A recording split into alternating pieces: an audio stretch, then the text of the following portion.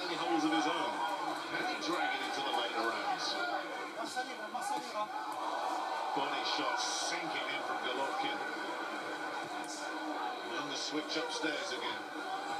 Oh, oh, vicious uppercut.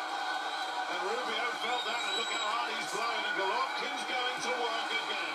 Here in round two, and down he goes.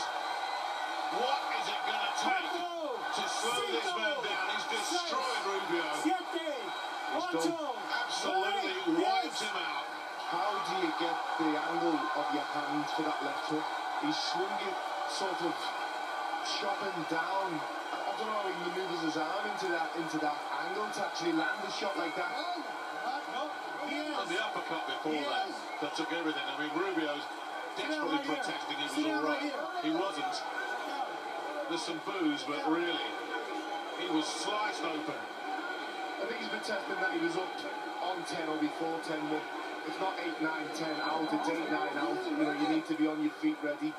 I, I'm, I'm amazed at that, the left hook. I really can't wait to see the slow motion. How he